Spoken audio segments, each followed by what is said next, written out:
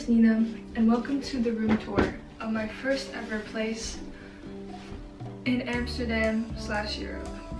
This is how wide it is. And no, I'm not like 7 feet tall. I've lived in this room that I can touch with both hands for a year now, which is crazy. But you know, we're not gonna think about it. We're moving up. Upwards mobility. Things can only go up from here, which is the positive thing. So, don't feel bad for me.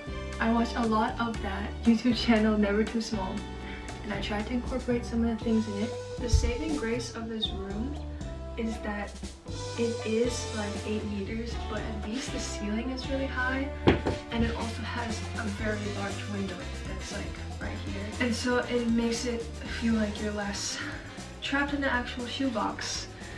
Haha. so let's begin, shall we?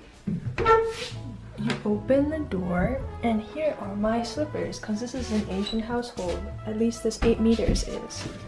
And I hate putting dirt into my room. You are in the entryway and right next to it is this monstera that honestly I've not been that good at taking care of and I hit it almost every time I walk out.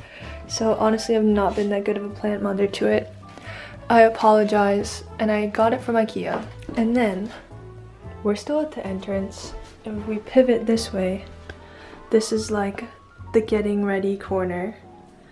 And I have food and like some dry food. Well, I packed it up. There's just miso and unopened soy sauce.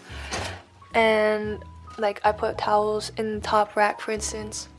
My backpack on this side and my carry-on on this side, don't look at that. That's a present, Noah. That's a present for Noah, so if he's watching this, don't look at this. Uh, yeah, I try and keep it neat and have a rhyme to a rhythm to my madness. This is my tote bag and this is very multifunctional. This is like, it can be a cushion, but it folds out into a blanket. So most of the time when I'm getting ready, I put it here on the floor like Japanese style and then I have this mirror from Ikea which I do my skincare and makeup in and I just set it here because there's nowhere in this room to put a full-length mirror because if you face it against the window that's bad luck and you can't have a mirror facing your bed either because you get nightmares. On this wall, I found this chair on the side of the road. It was for free when I first moved here. And it's just missing a bolt, but I don't actually sit in it. I just use it to hold. This Tucky bag from Hema is my makeup. And this is just like shampoo, face wash, deodorant. Then finally, this lamp is kind of bright, so I put a white t-shirt around it to diffuse the light and it creates a more warm orange light at night but I don't really use it during the day I just use daylight.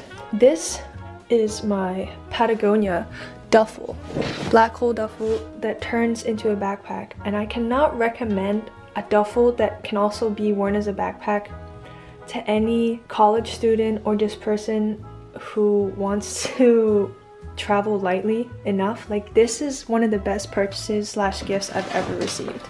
This is my bed. It touches three of the four walls in this room. Sheets are from Hema. Almost everything's from Hema if it's not from Ikea. Hema is like the Dutch Target. Uh, Totoro is with me. He's my ride or die. He moved across the ocean with me. And he guards my bed from scary monsters. And then I got this blanket that I put over if it's colder, of course. This laundry basket, also from Hema.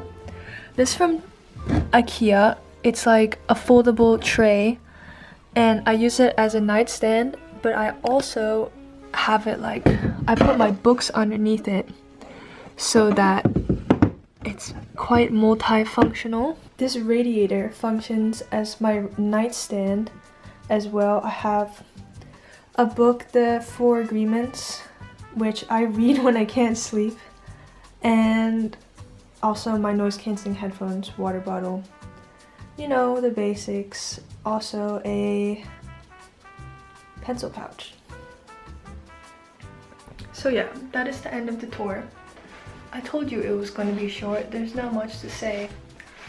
Uh, thank you so much if you stayed to the end, and I hope to see you soon. Bye.